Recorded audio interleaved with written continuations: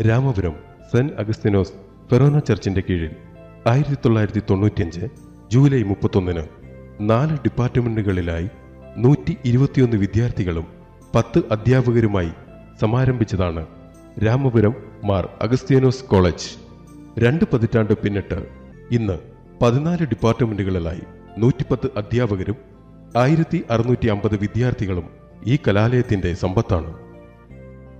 ചുരുങ്ങിയ കാലയളവിൽ അറുപത്തിയഞ്ച് യൂണിവേഴ്സിറ്റി റാങ്കുകൾ കരസ്ഥമാക്കിയത് കോളേജിന്റെ മികവിനുള്ള വലിയ അംഗീകാരമാണ്.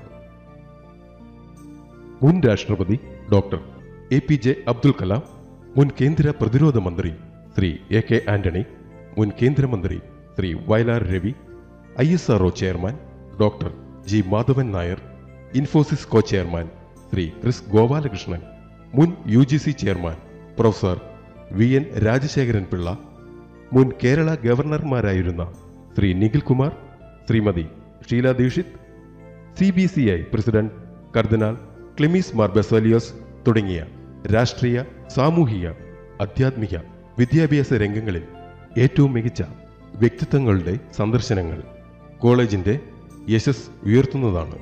കൂടാതെ ദേശീയ പ്രാധാന്യമുള്ള സെമിനാറുകൾ ചർച്ചകൾ ക്വിസ് മത്സരങ്ങൾ എന്നിവ വിജയകരമായി നടത്തുവാൻ കോളേജിന് സാധിച്ചിട്ടുണ്ട്. ഭവനരഹിതർക്ക് വീട് നിർമ്മാണം ബ്ലഡ് ഡൊണേഷൻ തുടങ്ങിയ സാമൂഹിക ക്ഷേമ പ്രവർത്തനങ്ങൾ നിരവധി അംഗീകാരങ്ങൾക്ക് കാരണമായിട്ടുണ്ട്. മികച്ച എൻ എസ് എസ് യൂണിറ്റിനുള്ള എം ജി യൂണിവേഴ്സിറ്റി അവാർഡ് രണ്ട് തവണ ഇതിനോടകം കരസ്ഥമാക്കിയിട്ടുണ്ട്. അത്യാധുനിക സൗകര്യങ്ങളോട് കൂടിയ referral library computer lab biotechnology lab electronics lab language lab തുടങ്ങി. ഹെർബൽ ഗാർഡൻ വരെ കോളേജിന്റെ സവിശേഷതകളാണ്.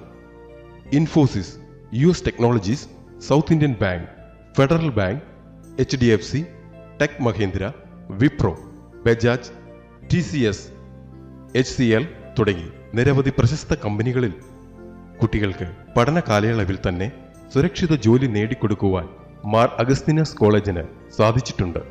ക്ലീൻ കേരള ബ്രിഗേഡ് ലക്ഷ്യമിടുന്ന വിവിധ പരിപാടികളിലൂടെ രാമപുരവും പരിസര പ്രദേശങ്ങളും പരിഷ്കൃത സമൂഹത്തിന് ഇണങ്ങുന്ന വിധം മെച്ചപ്പെട്ട നിലവാരം ഉള്ളതാക്കുവാൻ മാർ അഗസ്തിനോസ് കോളേജിന്റെ പ്രവർത്തനങ്ങളുടെ ഉദ്ഘാടനത്തിനായി എത്തുന്ന കേരള മുഖ്യമന്ത്രി ശ്രീ ഉമ്മൻചാണ്ടിയെ വരവേൽക്കുവാൻ നാടും നഗരവും ഒരുങ്ങിക്കഴിഞ്ഞിരിക്കുന്നു.